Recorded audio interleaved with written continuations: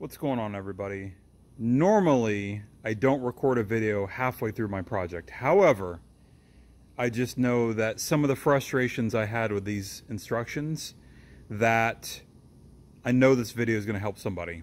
I think one of the things where the instructions don't make it clear is a lot of the circled parts. I know I'm old, I don't have the best vision, but a lot of the circled parts are not exactly clear what bolt or what bolt holes you need to go into or something like that. So that's one of the biggest issues with the instructions. I ordered this from Buggies Unlimited.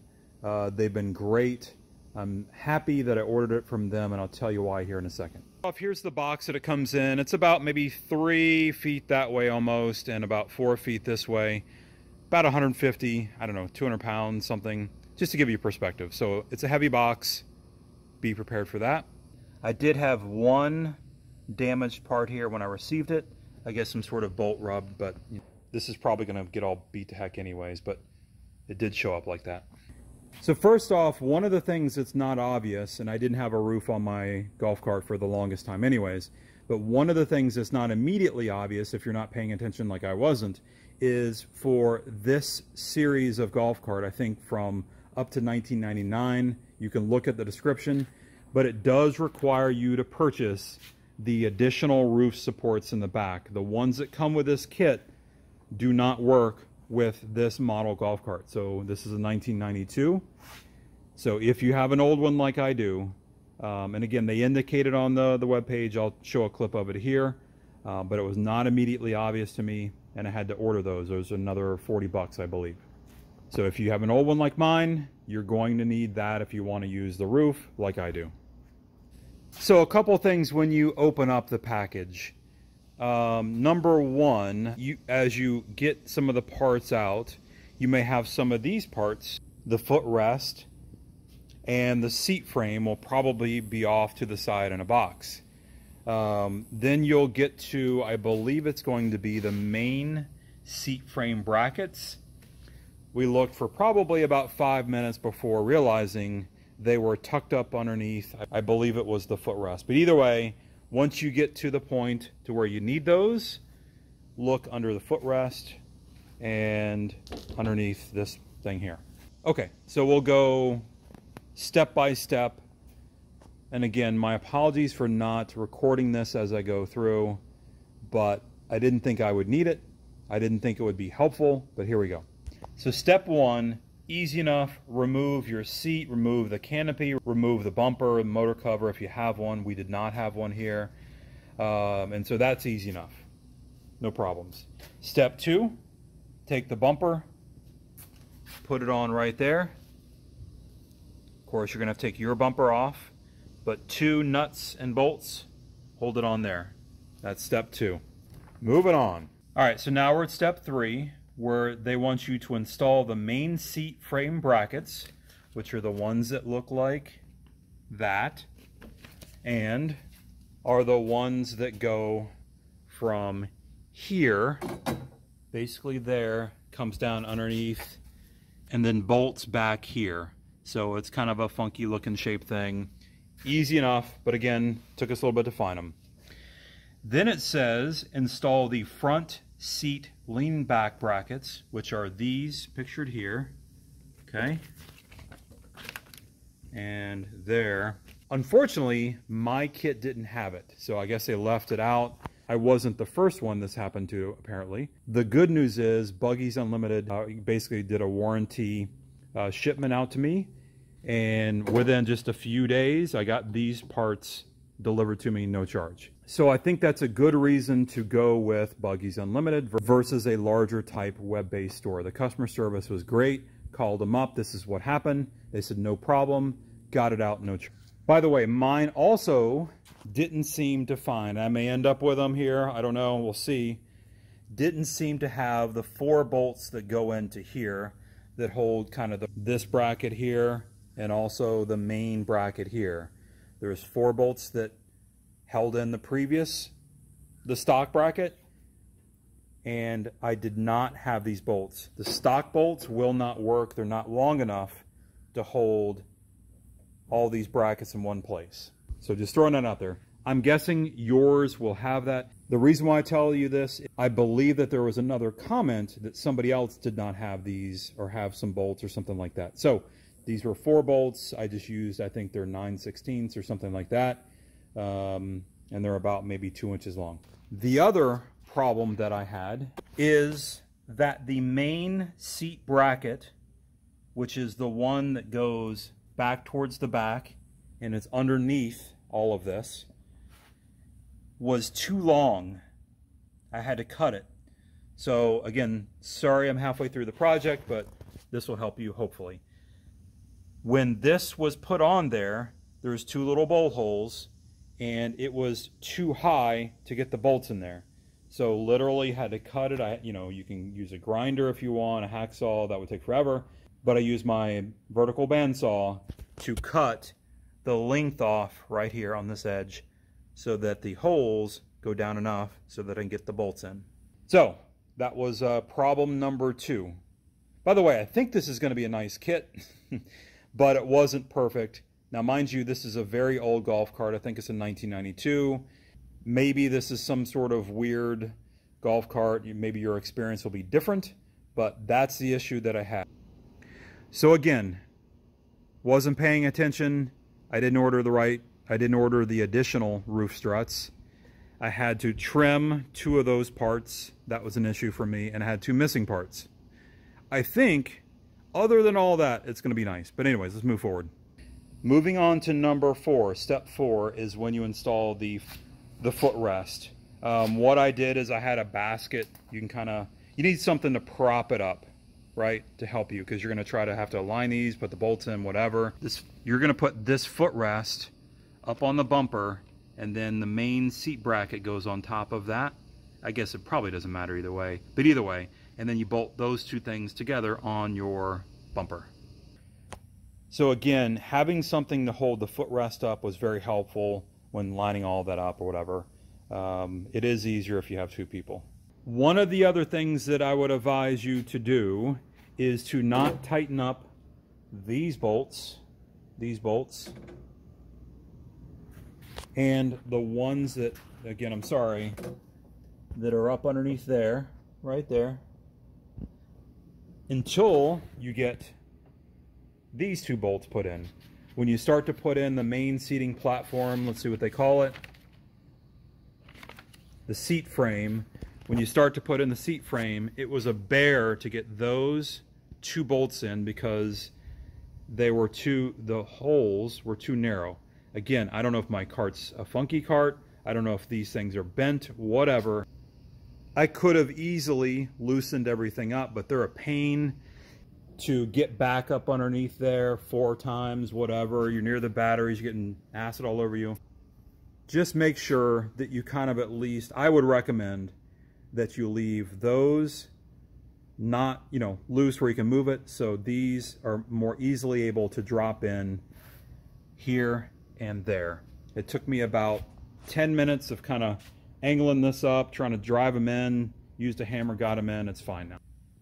All right, moving on to number six, that was pretty straightforward, but it wasn't obvious in the pictures where the bolt is, but if you look down up in here, those, one there, one there. So moving on to step number seven, and again, here, not very clear. It's not clear to me, do the armrests go on the outside of this? Do they go on the inside? So I'm not finished yet, but I believe that step number seven, the armrest, this little back support here, whatever it's called, seat back support. The seat back support looks like it goes inside of this main part here. And it looks like that the armrest go on the outside of this thing, and then there's going to be a bracket down here. So the way you figure that out is you look down here and it looks like this is on the outside. But again, up here, it's hard to tell. It would be nice if they had some sort of instructions there. Finally, the other hard part on step seven is what bolts to use where. It tells you to use the hardware from pack number three, which I did. So there's some long bolts there that make sense. and on there. When you get down to here, it doesn't make sense that you use the long bolts. So I'm just assuming that we use these so that when you close this, there's no interference there. I don't know if one of the bolts would still fit. I don't know. So it would be nice, and I may try this, to have this turned around where there's no ex external bolt sticking out there. But I think the long ones obviously don't make sense there. However, I don't know that they make sense here either, right? So you've got that there. That doesn't look right. It doesn't look right there or there. This would definitely hit, so it can't go that way. You don't want a bolt sticking out like that. So, again, pack number three had all of this, plus those two, and these. So my guess is these go there. Now we're in real time. Uh, left off last night with step number seven. So I'll try to make it a little more clear and record it as I move forward. All right, just wrapping up step number seven. This was the only orientation that made sense. Putting the bolt the other way, there's interference with the length of the bolt on this coming down. And using the longer bolts certainly didn't work in either way. So those are the bolts that seem to be working for this spot.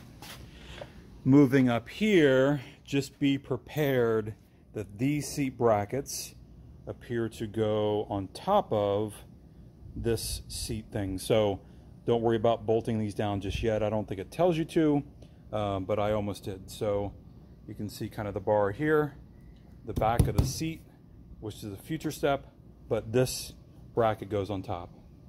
So don't tighten those down just yet. All right, moving on to step number eight. Very straightforward, easy. You can see that it's not fully, this bracket is not fully supporting that just yet. I'm guessing it's just a function over time. Those will bend down a little bit and then that'll be there to support it. But for now, it's up flush against there, the back of this, and uh, right now it's not really holding much, but I'm sure once we start putting weight on it, it will. All right, step nine, easy enough. Pack number four, that's a 10 millimeter wrench needed for those bolts. Very easy.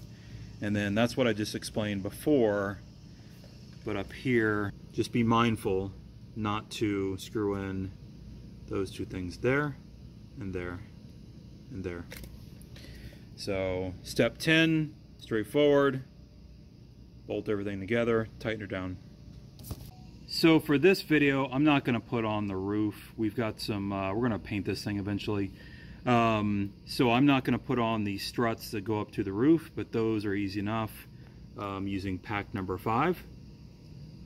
And uh, looks easy enough. Maybe I'll do an addendum to this one day, but uh, yeah, for now, not going to put those on. On to uh, step number 12. Pack number six. Attach seat bottom and strap to seat frame. All right. All right, let's see if this is straightforward. All right, so there she is all finished.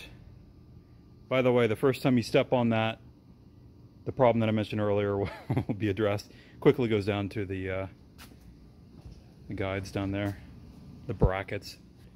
So earlier, I, for whatever reason, didn't uh, clue in that these are needed here um, just distracted from overnight. Looks like there, there should be a spacer or something that goes in there. So I think these may be involved somewhere up here. Maybe they go in between the strut here and the roof. I don't know. So if you know, comment below. Help us out. Thanks. All right, one of the things that's not covered in the directions, which I think I have it right, is mounting back the front seat. So if you're like me, got an old one, you took off something that looks like this. So really what you need to do is get, what I did to make it a little bit easier, I unscrewed these four Phillips to remove the seat. Can get to the screw a little bit better. Um, but there's a little screw back here and on the other side. So it's hard to get a wrench in there, but you can. I was able to get a little uh, a wrench in there to loosen it up and then the seat and that bracket, which I'll show you in a minute, goes on the front. The one thing I don't like about it, it looks like if you hit it hard enough on one corner or somebody grabs on it, uh, it could move it down. So I may end up making um, some sort of bracket for it. It looks like there's actually three holes on the bracket, but there's only one on my seat. So probably what I'll do is eventually drill two more holes. I'll see how it works. Drill two holes in there to see if I can get them to match up, and that'll be a pretty, uh, pretty stable mount. All right, so once you get the seat off, you should be able to angle in a wrench right there. Um, I think it's like a 7 16 but I'm using an 11. Uh, is working fine. And that's enough to hold it while you unscrew that one. All right, I took this, uh, all right, I took this other part off. Now you can get a socket on there. All right, she's all done. So overall, we're very happy with it. It's a nice kit. Little tweaking here and there as discussed for the last 15 minutes, but we're very happy with it. It's very sturdy. You can see the seat has been flipped down where it's sloping towards the front. So I reverse that. There's the bed.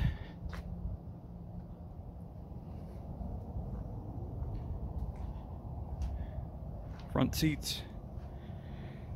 It's not nearly as nice as the front, but it's nice. All right, hopefully this helps somebody. Thanks for watching. Have fun.